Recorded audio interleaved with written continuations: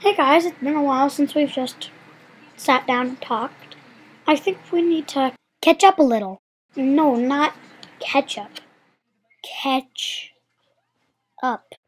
You know what? That's not. Just, just get that. Strike that from the minutes.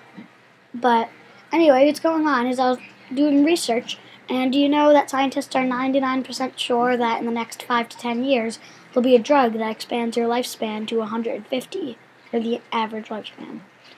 And I was also doing some research on future technologies, and I think you should click on my face because there's this guy that made a really big, or not big, but good video about what he thinks will happen in the next hundred years, and it's me pretty accurate.